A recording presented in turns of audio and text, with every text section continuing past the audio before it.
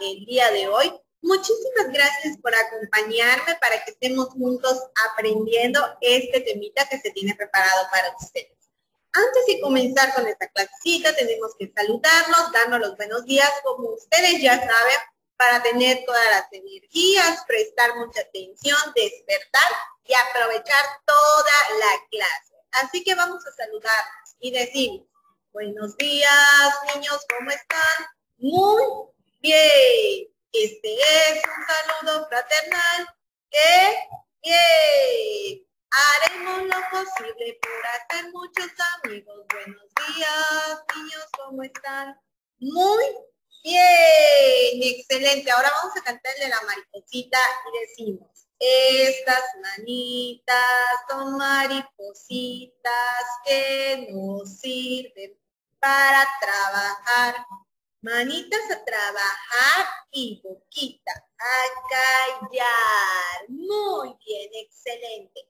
Ahora sí, chicos, vamos a realizar nuestras actividades. Vamos a ver de qué va a tratar cada una de ellas. Así que vamos a prestar muchísima, muchísima atención y nos dice, recordemos la figura. Pues en clases pasadas, chicos, nosotros hemos estado trabajando unas figuritas. De hecho, ¿se acuerdan que nosotros formamos hasta un perrito, verdad? Y ustedes también allá en casita elaboraron igual la imagen que era de su preferencia, de acuerdo a las figuras que trabajamos, como por ejemplo el triángulo, el círculo, el cuadrado, el rectángulo, ustedes formaban diversas figuritas. Pero nos dice aquí lo mismo que les acabo de repetir.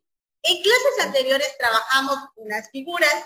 ¿Recuerdas cómo se llama la que, te presentaré? Como les dije, hemos trabajado varias figuritas, pero hoy solamente nos vamos a centrar en una de ellas. Vamos a ver si ustedes la conocen. Dicen que sí lo recuerdan. A ver, chicos, es esta figurita que aparece acá de color rojo. ¿Alguien de casualidad sabe cómo se llama esta figura? Es la redondita. ¿Recuerdan cómo se llama? Muy bien, perfecto. Es un círculo. Su nombre de esta figura, que es redondita, es círculo. Y sé que ustedes lo recuerdan muy, muy bien. Así que pues con esta es con la que vamos nosotros a estar trabajando, vamos a realizar diversas actividades con ayuda de ella, pero antes de realizar esas actividades vamos a ver lo que les voy a presentar a continuación. Nos dice imágenes circulares.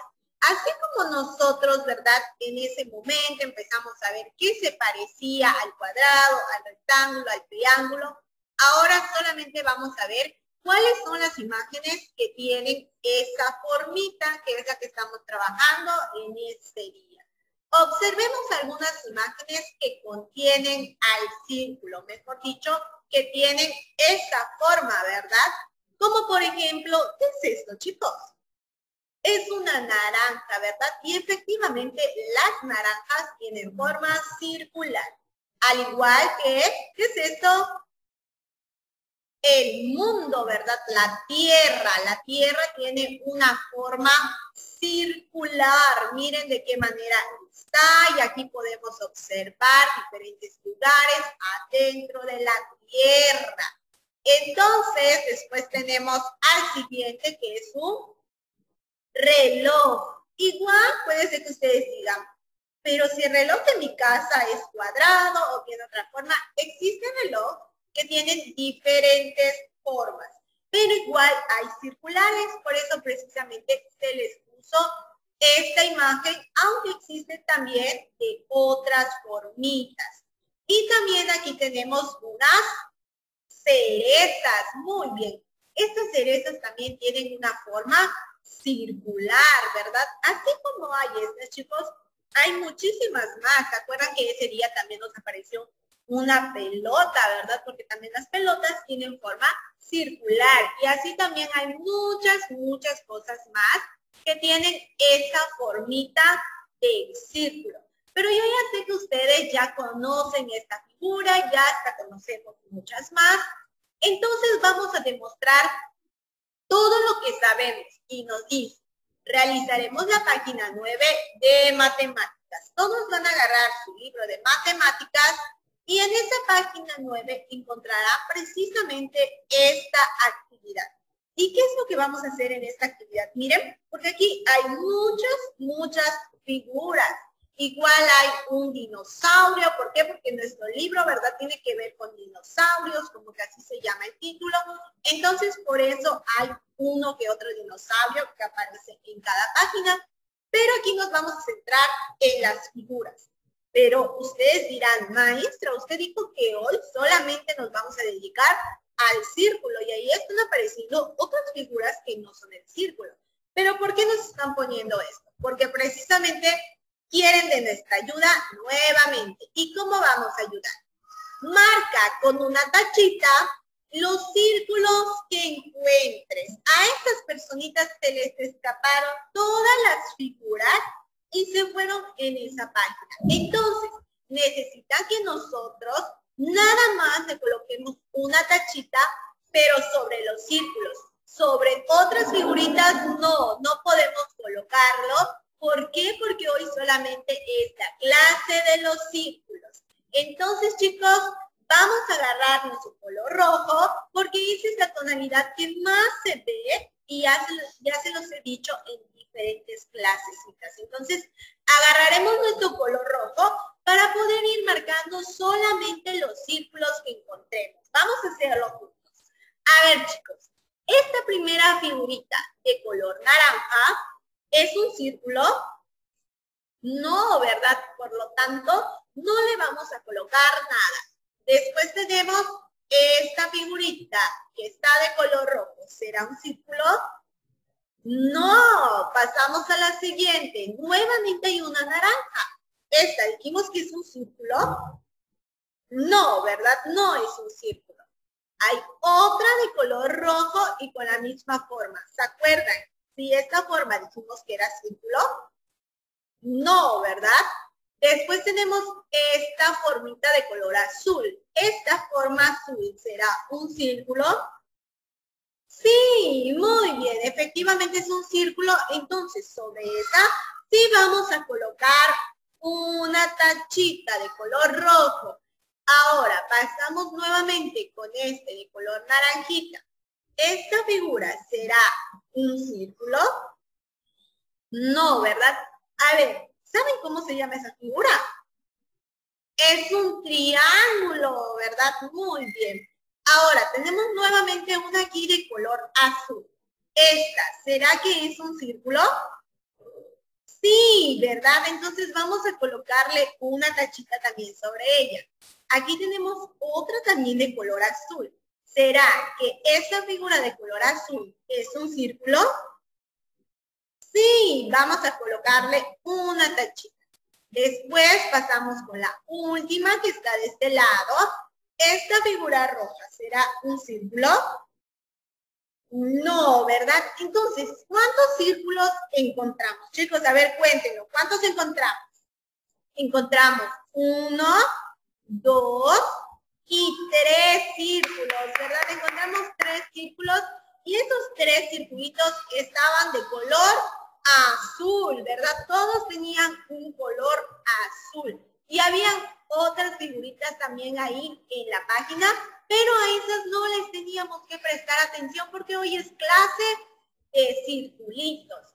Y como hoy es clase de círculos, nos falta realizar una actividad más para reforzar esta y dice, Prestemos atención para realizar la página 10. Ahora vamos a pasar a la siguiente página en donde demostraremos que efectivamente sí sabemos sobre círculos. ¿Y qué vamos a hacer en esta página? Chicos, ¿qué será? Es lo que vamos a realizar. Pues ya sabemos identificarlos. Ya sabemos cuáles son las figuritas que tienen esa forma. Ya sabemos muy, muy bien qué es un círculo pero otra cosa que nos falta, chicos, es aprender a trazarlo, ¿verdad? Que estoy segura que muchos lo saben. Entonces, en esta clase van a encontrar esta página. En su librito encontrarán esta página y ¿qué es lo que vamos a hacer? Ahora trazaremos los círculos de las tonalidades que se indiquen. Es decir, que no solamente vamos a reforzar nuestro trazo de los círculos, sino que a la misma vez vamos a reforzar el tema de los colores. Así que aquí nos van a estar apareciendo unas flechitas como indicadores de qué tonalidad debe de ir cada una de las filas y ustedes van a estar agarrando ese mismo color y realizando su trazo. Por ejemplo, la primera fila dice que la vamos a colocar de color rojo. Muy bien, de color rojo. Entonces, este primer círculo ya está realizado prácticamente, entonces solamente es colocar nuestro color rojo en la parte de arriba. Ya después, en estas dos, ya no tenemos ninguna guía, sin embargo, sí tenemos un pequeño rectángulo del cual no se puede salir nuestro círculo. Así que vamos a hacer otro círculo y nuestro tercer circulito. Recuerden que ustedes pueden ir pausando el video para que les dé tiempo de irlo realizando uno por uno con calma. Entonces, nuestra primera fila debe de quedar de color rojo. Ahora, vamos con la segunda fila. ¿Qué la debemos de colocar? ¿De qué tonalidad? Azul, ¿verdad? De color azul. Y lo mismo, el primer círculo, vamos nada más a marcarlo de nuestro color azul y los otros dos, los otros dos espacios, vamos a ponerlo como nosotros, ¿verdad? Ya sabemos realizarlo sin salirlo de los límites. Pero ahora vamos a pasar al siguiente. Los siguientes circulitos lo vamos a realizar precisamente de acuerdo a los objetos que tenemos en la parte de arriba, como por ejemplo una pelotita, este parece como una paleta, ¿verdad? Y una moneda. De esas tonalidades es como nosotros vamos a ir marcando nuestros circulitos. Los anteriores no tenían nada, entonces yo les dije que colocaran el que a mí me parecía bien que fuera de esa tonalidad. Pero ahora, nuestra pelotita es como de un tono verdecito, ¿verdad? Más o menos. Entonces, todos van a agarrar su color verde, sea fuerte o sea el bajito, pero que sea una tonalidad verde y hacemos lo mismo. Vamos a marcar la primera bolita, el segundo círculo lo realizamos y el tercero. Y esto sería prácticamente todo lo que tenemos que hacer en la filita el color verde. Ahora pasamos al otro, que es en donde está esto como si fuera una paletita, ¿verdad? ¿De qué color está además de blanco?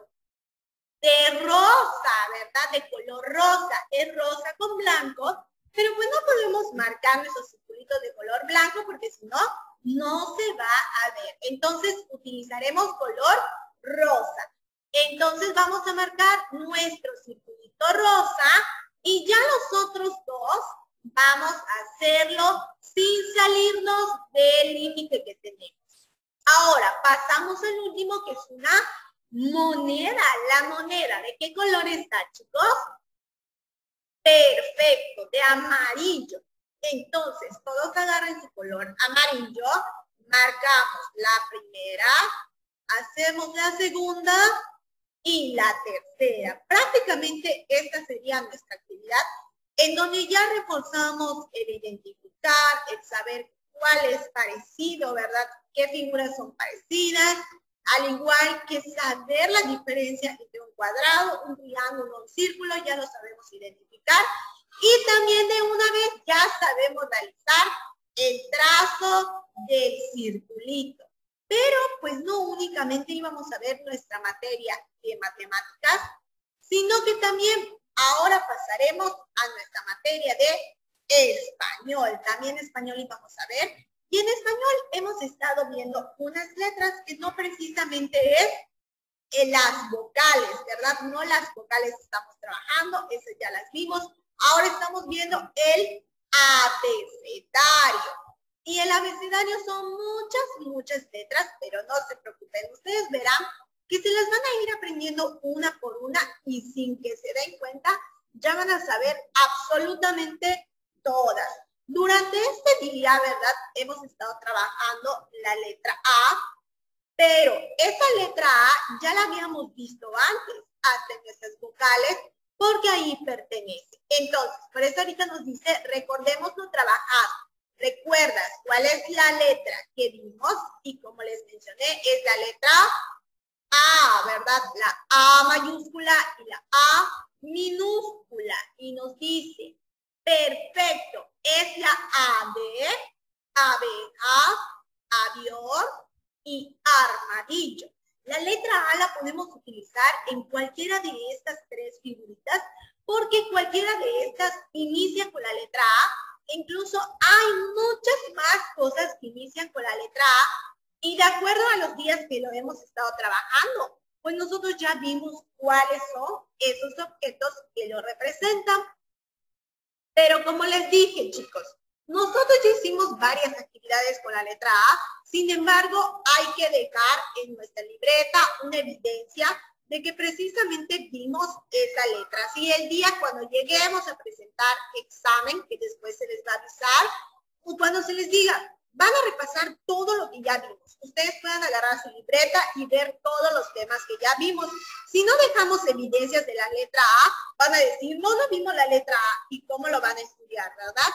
Entonces, una de las actividades que vamos a realizar el día de hoy, la actividad de la letra A, le voy a pedir por favor a mamá o a papá, una personita mayor, que me ayude a trazar precisamente esto en mi libretita, de este grosor, que sea en la parte del medio, que esté un poquito anchito, para que ustedes puedan colocar ahí lo que se les va a pedir.